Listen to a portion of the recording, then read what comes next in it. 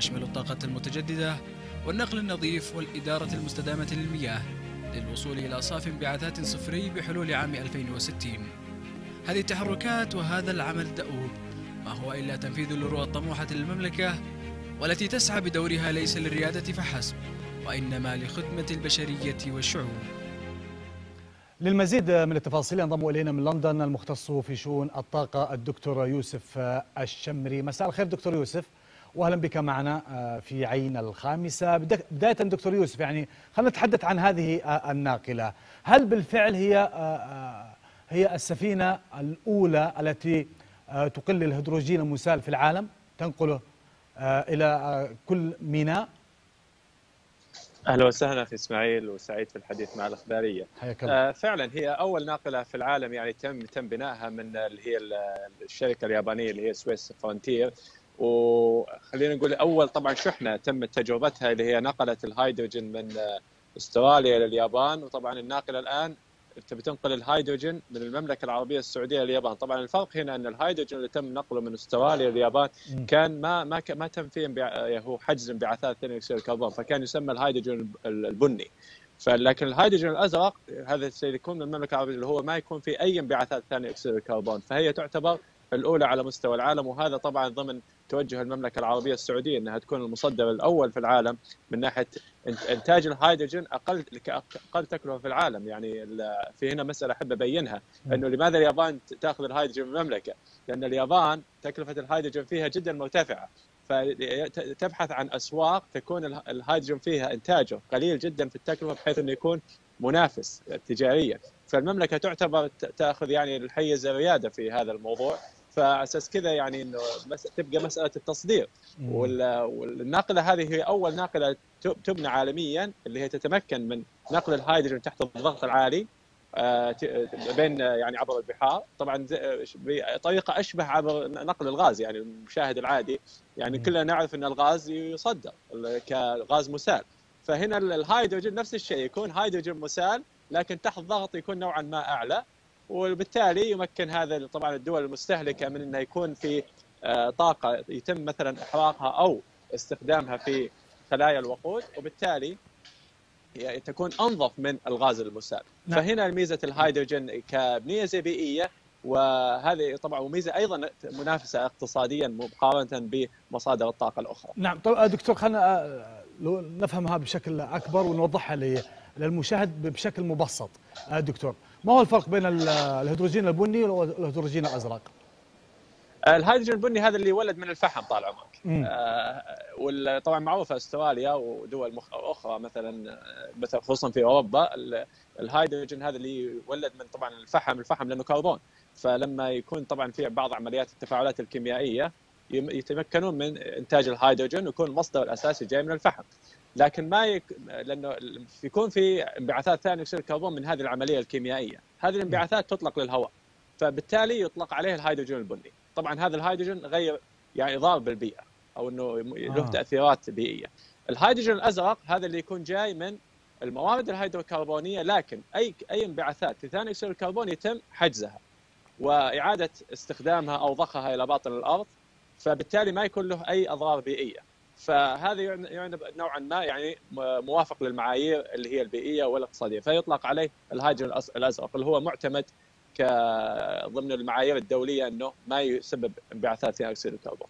نعم طب دكتور بما أن هذه أول ناقلة في العالم ونقلت الهيدروجين السائل تصل الهيدروجين السائل الذي وصلت إلى ميناء جدة الإسلامي، هل هذا يؤكد لما تحظى به الموانئ السعودية ربما من جاهزية عالية لاستقبال هذا النوع من السفن؟ بالطبع أخي إسماعيل لأنه إحنا هنا مسألة مهمة إنه موقع المملكة الاستراتيجي كمركز للتجارة العالمية وهذا موضوع ذكر سمو سيدي ولي العهد في حين إطلاق رؤية المملكة 2030 وإنه الهدف إنه استغلال الموقع التجاري للمملكة لتكون مركز للدعم اللوجستي. فلو نلاحظ المملكة يعني الحمد لله مركزها في قلب العالم رابطة بين آسيا وبين أفريقيا و أمريكا وأوروبا. فسهوله النقل التجارة العالمية بين دول العالم تكون أسهل عن طريق المملكة مقارنه بدول أخرى. فايضا لنا تجربة سابقة يعني في نقل البتروكيماويات ناقلات النفط والناقلات البضائع الأخرى اللي الناقلات الأخرى حقيقة اللي تمر في المملكة.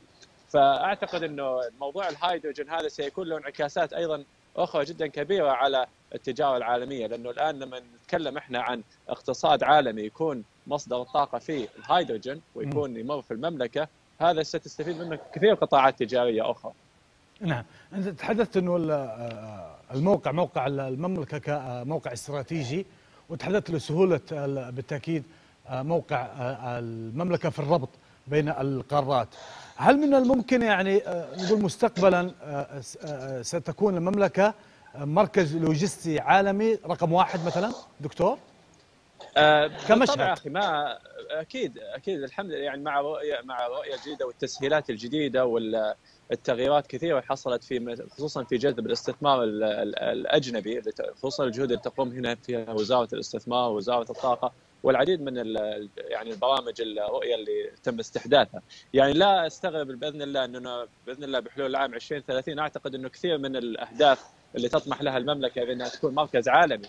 للتجارة الدولية بإذن الله تكون محققة وهذه طبعا في إطار رؤيه طبعا إنشاء اللي هي المدينة الذكية مدينة نيوم والمشاريع الأخرى اللي هي تتم حاليا في جذب السياحة والاستثمارات الأجنبية في المملكة فأعتقد بإذن الله إنه إنه بإذن الله الأهداف هذه بإذن الله كلها تكون محققة في خلال السبع سنوات المقبلة. بما أنك تحدثت عن الأهداف يعني الخطوات التي تتخذها المملكة دكتور في قطاع الهيدروجين كيف رايتها حتى هذا اليوم؟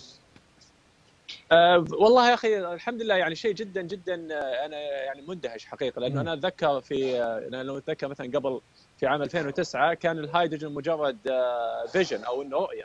لكن في خلال وقت قصير يعني الحمد لله من إعلان رؤية المملكة 2030 في 2016 حتى الآن إحنا 2023 يعني الخطوات اللي اتخذت في في اللي هو تكون المملكة المصدر الأكبر للغاز الهيدروجين في العالم جدا سريعة. وهنا خلينا أحب أذكر بعين الاعتبار طبعا اكتشاف حقل الجافوره اللي هو يعتبر أكبر حقل في العالم للغاز الغير التقليدي واللي وأيضا إنشاء أكبر مشروع للعالم للهيدروجين الأخضر في نيوم اللي سعته تصل عند حوالي 620 طن سنوي. ف واللي تملكه طبعا شركة ACWA Power مع Air Products فالخطوات يعني جدا سريعة. وهنا أحب مثلا أبينها إن السوق الهيدروجين العالمي يتوقع إنه يصل قيمة السوق إلى حوالي 700 مليار دولار بحلول العام 2050 فإحنا نتكلم عن إن المملكة تكون مصدر حوالي 4 مليون طن في حلول العام 2030 آه يعني كم حيكون ونتكلم عن طلب للهيدروجين حوالي 500 مليون طن سنوي. فأعتقد إنه نصيب المملكة من هذا السوق العالمي سيكون الحمد لله باذن الله جدا كبير. وهذا بإذن الله إنه يعتمد طبعا في دعم اقتصاد إنه يكون هنالك اقتصاد مستدام اقتصاد مرن. بإذن الله البلد طبعا نوعا ما يكون أقل اعتماد على النفط ويكون أيضا مستفيد من الموارد الأخرى الطبيعية للمملكه العربية السعودية في دعم التوجه العالمي للاقتصاد الاقتصاد الطاقة النظيفة. نعم كان معنا من لندن المختص في شؤون الطاقة الدكتور يوسف الشمري، شكرا دكتور يوسف على هذا التوضيح وعلى هذا التفصيل دكتور.